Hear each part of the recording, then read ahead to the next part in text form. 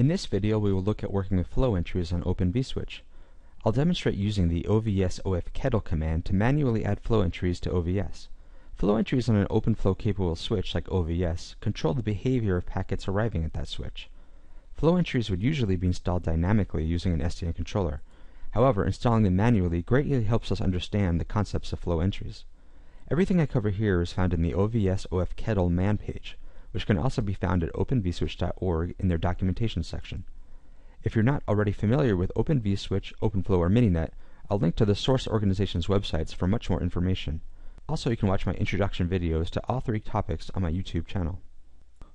I'll use Mininet to emulate a simple network with one OVS switch as well as three emulated hosts.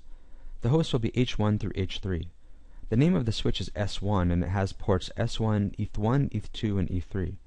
Something very important here is that although our system sees these port names, we need to know how these port names map to OpenFlow port numbers, which in this diagram can be seen are OpenFlow ports 1, 2, and 3.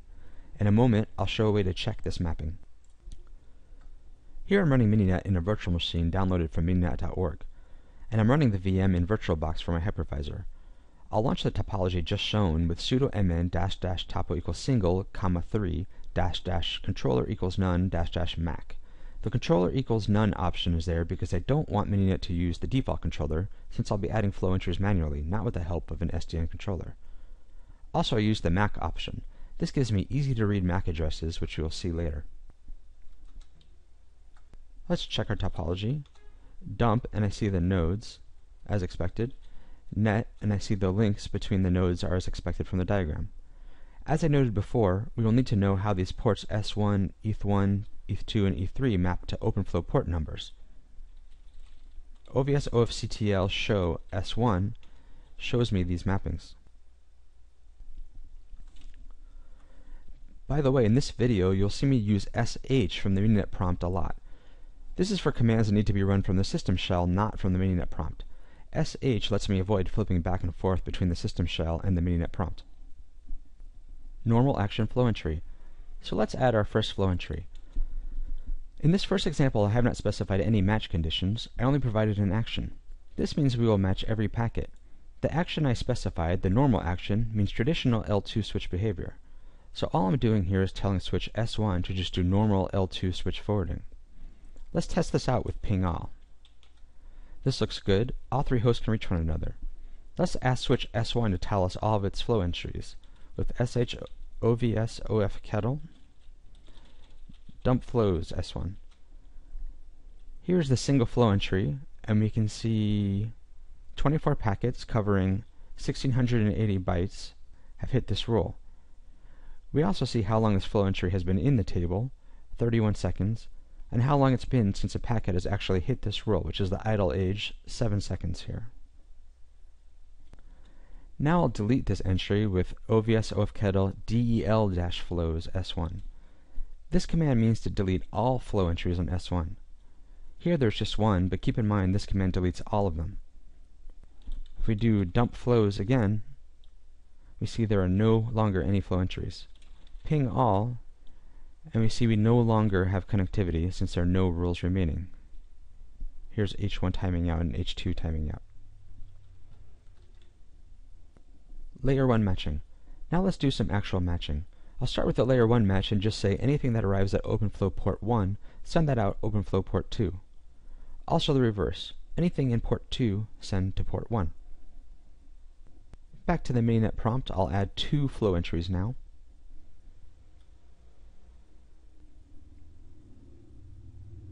So anything in port 1 goes to port 2, anything in port 2 goes to port 1. I match on ingress ports with in underscore port.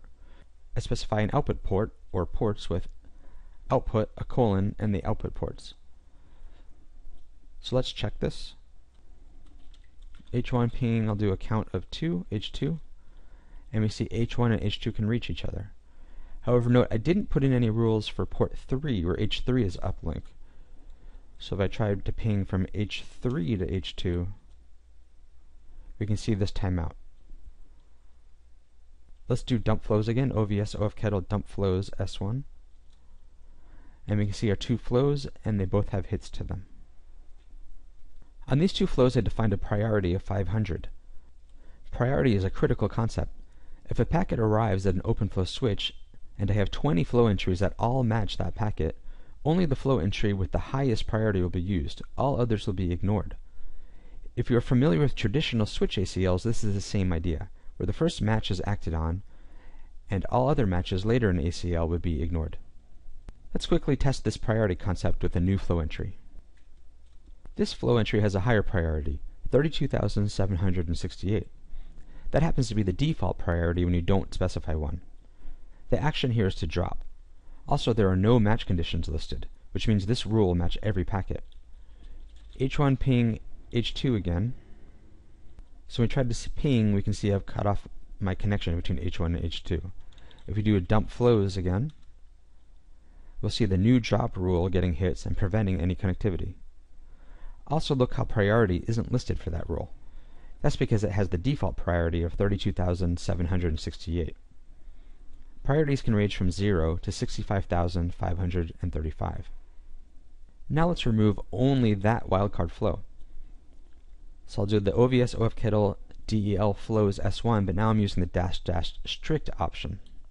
That says to only remove that one wildcard flow. Dump flows again and we see the drop rule is gone while the original flows remain. And if we try to ping again, we'll see that we have connectivity once more.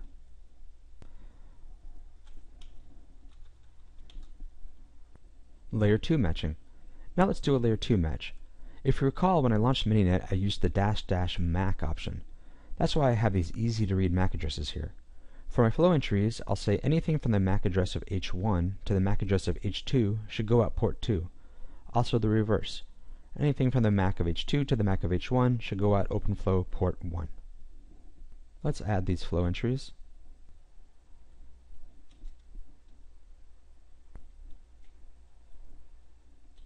That got cut off a little at the end there, but DL underscore source and DL underscore destination are used to match on layer 2. So in this case to match on source and destination MAC addresses. So these rules cover the behavior just described. The first rule from H1 to H2's MAC we see we send output to 2, and from H2 to H1's MAC output to port 1. So I have my layer 2 matching, however there's an outstanding issue. I also have to account for ARP, otherwise these hosts won't be able to learn each other's MAC addresses. We call that ARP requests are broadcast messages. So these two flow entries won't work because they don't cover layer 2 broadcasts. ARP replies are unicast, so these rules actually will cover for ARP replies. So to match ARP requests, I'm using some new fields. DL underscore type equals hex 806. This is the ether type value for ARP. Also, ARP code 1 is for ARP requests. So I use NW underscore proto equals 1, and that takes care of that. In the comments, I'll list the common DL type and NW proto fields. My action here is flood, just to make this easy for now. Flood means to send a packet out all ports except the one it arrived on, like normal switch flooding. Let's make sure this worked with ping all. And we can see H1 and H2 can reach one another, but no one can reach H3. This is expected since I didn't put in any flow entries to send packets to H3.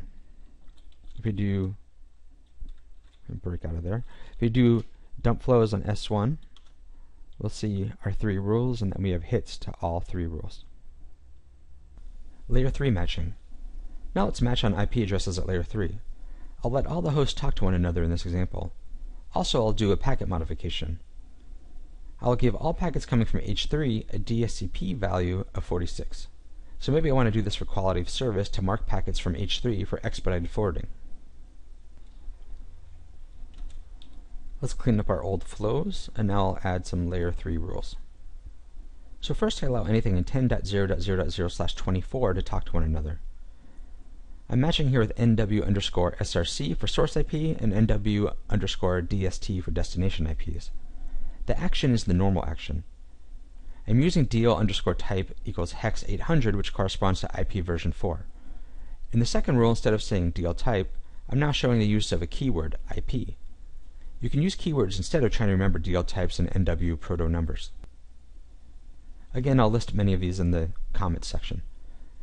Now a critical point here. When defining matches at layer 3 and layer 4, you have to follow what the OVS OF man page calls normal form. What that means, if you're trying to match on a layer 3 field, you are required to specify the DL type like hex 800 in this example, or use an appropriate keyword like the IP keyword. If you leave DL type out, OVS will ignore your specification of network source and network destination, and it turns those fields into wildcard or match any. So again, when you're calling out layer 3 fields, you have to specify the DL type. Also, when you're matching on layer 4 fields like TCP or UDP ports, you have to specify both the DL type as well as NW underscore proto, which we saw previously and we will see again shortly. If you don't do this, if you don't follow the quote normal form, you will not get the results you expect.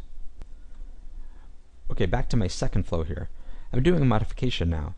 I want any IP packets coming from 10.0.0.3 to get a DSCP value of decimal 46. The type of service, our TOS field, is 8 bits but the first two bits are reserved for explicit congestion notification, or ECN. So I have to take the DSCP value I want of 46 and multiply that by 4 to get 184. With packet modifications, you have various options, like modifying MAC addresses, IP addresses, MPLS tags, or VLAN tags. In a video on using multiple tables, I will do some of those other types of packet modifications. Okay, let's allow ARP again, this time in a different way from the layer 2 matching example. Now I'm using the ARP keyword instead of DL type to make my life a little easier. And I'm saying specifically where to send ARP requests and replies. Look how I'm using NW underscore DST. Just like I did for IP packets, but now I use the ARP keyword. Whereas before IP meant destination IP, now since it said ARP, I'm talking about the layer 3 target for ARP requests, and the source of the request in ARP replies.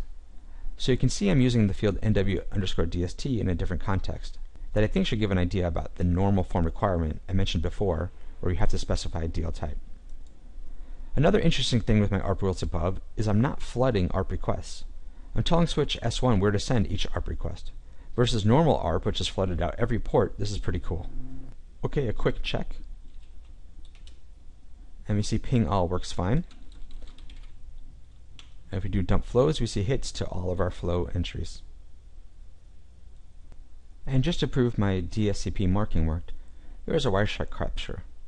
And we see packets have a DSCP set to 46. Layer 4 matching. Let's wrap up with some matches on layer 4. For this I'm going to start a Python web server on H3 and then let H1 and H2 connect to H3 on port 80. Deleting all flows again, or flow entries rather, I'll start the web server on H3 and let's put in our rules. First I need ARP again, so for ARP a really easy flow entry this time. Just doing the normal ARP behavior because I don't want to focus on that here. Now the layer 4 matching. Here I'm saying IP again by using DL type hex 800. I also use NW proto 6 which corresponds to TCP. Also I have a new match field, TP underscore DST, that's for the transport layer destination port, which will be 80. Something interesting here, note I didn't call out any specific IP addresses, so actually I'm sending all port 80 traffic to port 3 regardless of the destination IP. In this scenario it doesn't make much sense, but imagine if you wanted to send a certain type of traffic through a firewall. Some kind of rule like this could accomplish that. So I still need to permit return traffic, so let's do that. Any IP packets from 10.0.0.3 will just take the normal action. Let's see this in action with h1 curl h3. And we see that works. Let's try h2 curl h3. And that looks good as well. That wraps up this video. I hope this was helpful to get acquainted with flow entries. If you want to see more content like this, please subscribe to my YouTube channel. Also, I'd love to hear from folks watching these videos. If you'd like to connect, you can reach me through LinkedIn at linkedin.com slash in slash David Mahler.